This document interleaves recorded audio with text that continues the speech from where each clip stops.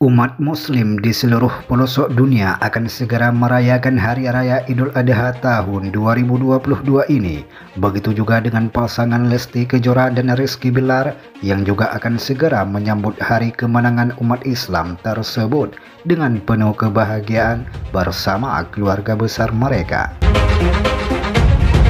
Layaknya seperti muslim lainnya, pasangan yang dikenal dengan nama Leslar itu juga telah mempersiapkan berbagai persiapan untuk menyambut hari raya tersebut, mulai dari pakaian baru, kue, dan pastinya hewan kurban yang akan disembelihkan di hari raya nanti untuk dibagi-bagikan kepada orang yang tak mampu, fakir miskin, anak yatim, maupun lainnya yang membutuhkan.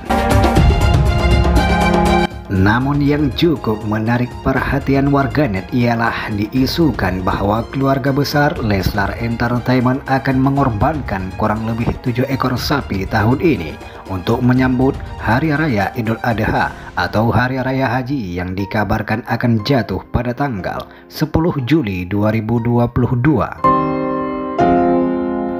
Tentu saja jumlah tersebut memiliki harga yang cukup fantastis, apalagi hewan korban berupa sapi tersebut berkisar pada harga puluhan juta rupiah per ekornya. Bahkan harga sapi-sapi tertentu bisa tembus dengan angka ratusan juta rupiah per ekornya.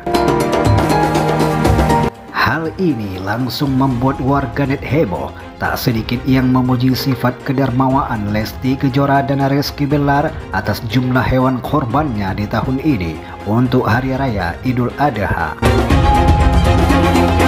Harus diakui semenjak tahun 2021 hingga tahun 2022 ini nama Lesti Kejora dan Rizky Belar terus melambung tinggi di dunia hiburan tanah air berbagai job kian memadati jadwal pekerjaan mereka, baik itu on air maupun off air. Bisnis-bisnis mereka yang semakin menggurita di berbagai tempat dengan hasil yang cukup memuaskan.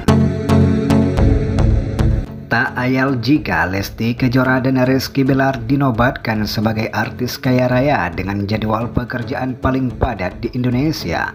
Tak heran pula jika tahun ini pasangan suami istri tersebut mengorbankan sebanyak tujuh ekor sapi untuk merayakan Hari Raya Haji tahun ini. Begitulah informasinya. Jangan lupa untuk terus mendukung channel ini dengan cara subscribe, like, share, and comment agar kalian terupdate informasi terbaru dari kanal YouTube ini.